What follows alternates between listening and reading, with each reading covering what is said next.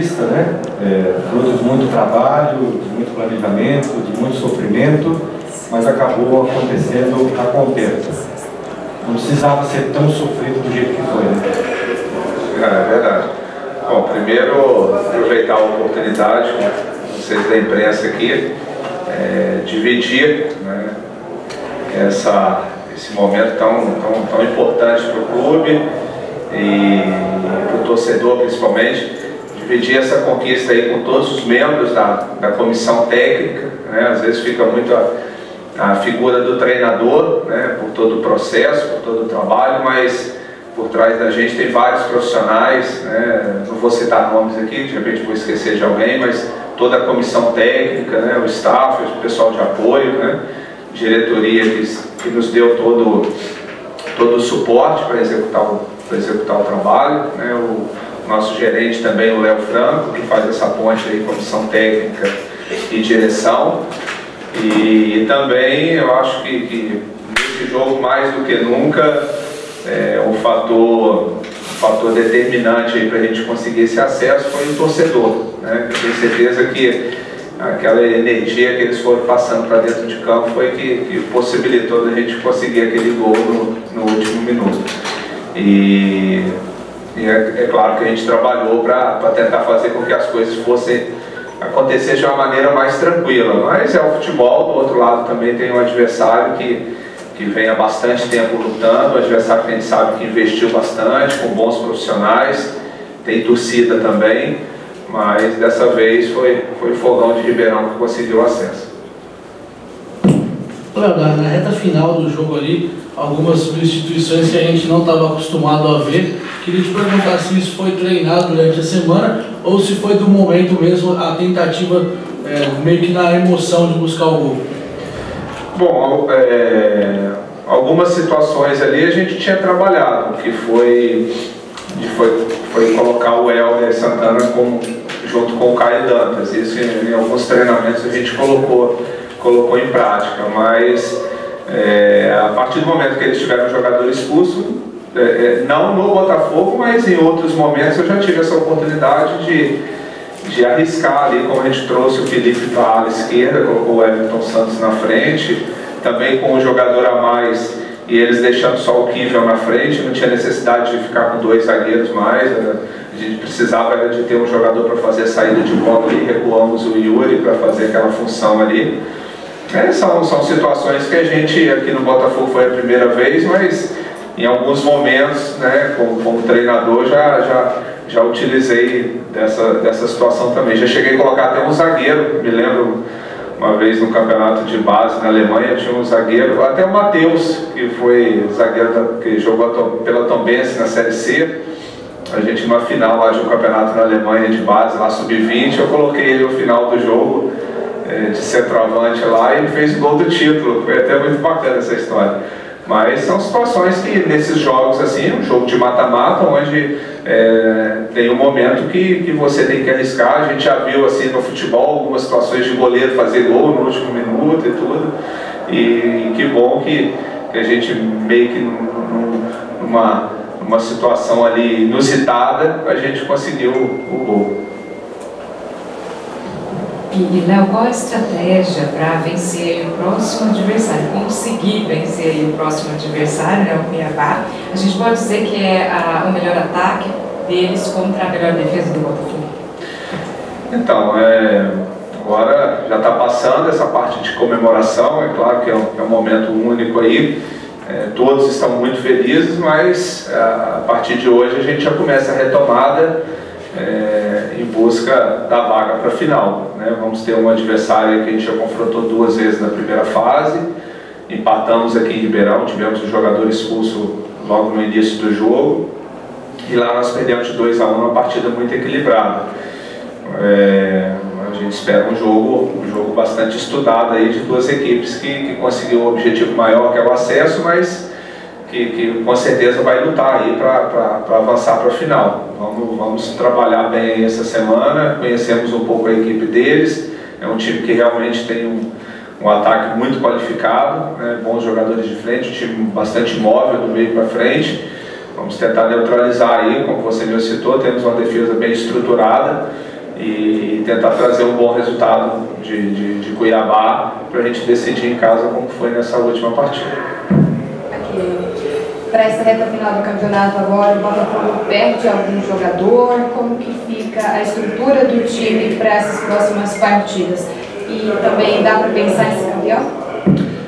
Bom, é, a única é, saída que já estava acertada era do Everton Santos, né? Até foi um acordo que já tinha com o clube, todos sabiam que ele ficaria até, até o término dessa, dessa fase aí. O Everton fica liberado a partir de agora. Os demais atletas, a princípio a gente conta com todos. É claro que com acesso aí pode acontecer algum assédio, alguma situação aí, aí foge do treinador, é mais com a direção, mas a ideia é ter todos eles para essa reta final de competição. É, o objetivo agora é ir em busca do título, né? Assim como também, além do Botafogo, Cuiabá, Bragantino, Operário, todos também vão em busca desse objetivo. Mas nós vamos lutar muito por isso, um passo de cada vez. Primeiro, é, procurar passar pelo Cuiabá na semifinal e, e depois ir em busca também dessa, de, de uma conquista que é algo muito importante para todos.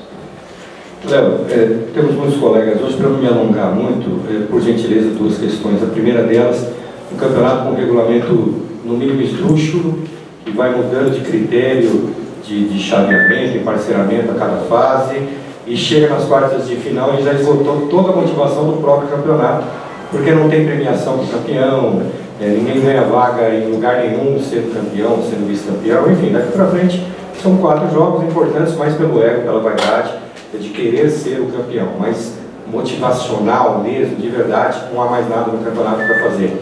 E a sua condição? A gente sabe que você tem um contrato até o final da Série C, formal, um contrato informal de dois anos, que iria até o final de 2019. Então, eu queria saber a sua posição é, com relação a fazer esse contrato até 2019, trazer família para morar em Ribeirão, porque uma vez por semana para vir de fora de carro do né? Bom, é, primeiro deixar claro que nós temos sim o objetivo de buscar a conquista. É, é, motiva, é motivante para a gente sim. É, se a gente pegar no muro do Santa Cruz, o que tem escrito ali é o título da Série D de 2015. Fica, o acesso não tem preço, mas é claro que um título marca a carreira de todos também. Então nós vamos, vamos buscar sim é, lutar muito para ir em busca de, do, do título.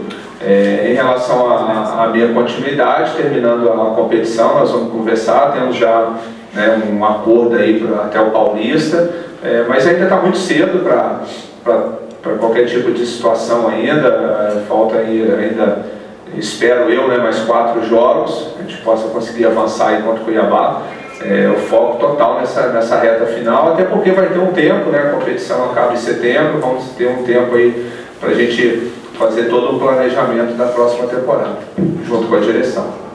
Não, você é um cara que quando chegou aqui, é, a gente que acompanha e vive futebol conhecia o seu trabalho, mas muita gente desconhecia, o torcedor principalmente.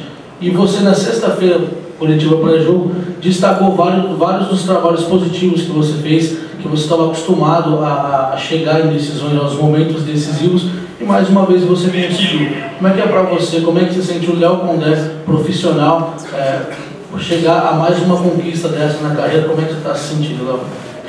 Ah, a gente fica, fica muito satisfeito, porque é, é, natural, né? Como profissional, principalmente futebol brasileiro muito equilibrado, a gente sempre se questionando, né? A todo momento, é, para buscar é, se manter no, no nível de, de, de, de, busca aí por conquistas. Né? E, e, é importante para a carreira do treinador. Né? Então, nos últimos 3, 4 anos aí, é, graças a Deus, com muito trabalho, muito empenho, né? com, com, todos os profissionais que a gente trabalha aí, tenho conseguido obter êxito dentro da, daquele universo ali que a gente trabalha. E, é, é importante para a gente que vai consolidar naquilo que, que a gente é, acredita né, em termos de futebol. Né, como uma palavra que eu sempre falei, sempre citei muito aqui desde o início, questão que eu acredito muito no futebol de equilíbrio, né, em tudo, né, equilíbrio de dia a dia, de bom ambiente, é, a equipe tentar jogar equilibrada, bem organizada defensivamente, com bola, propor o jogo, tentar o jogo. e as minhas equipes, de um modo geral, a gente, a gente vem, eu procuro sempre tentar fazer com que elas joguem dessa forma. E graças a Deus vem dando certo, né? É, mostra que é um caminho que a gente vai procurar seguir e, e é claro que os resultados, né, é um parâmetro, no, no jogo só o resultado como parâmetro principal, mas é claro que, que no futebol, principalmente no futebol brasileiro, o, o, resultado final é sempre um parâmetro importante para a continuidade daquilo que a gente está fazendo. Para fechar, você que é um cara muito, sempre muito político, sempre muito educado, às vezes segura um pouquinho a emoção. Assim, na maneira de, de, lidar com as pessoas, assim, sempre muito educado. É, extravasou depois do jogo lá, comemorou pra caramba. Porque a gente sempre te vê aqui, é, sempre claro. bem, bem comedido, mas imagino que deve ter extravasado no final.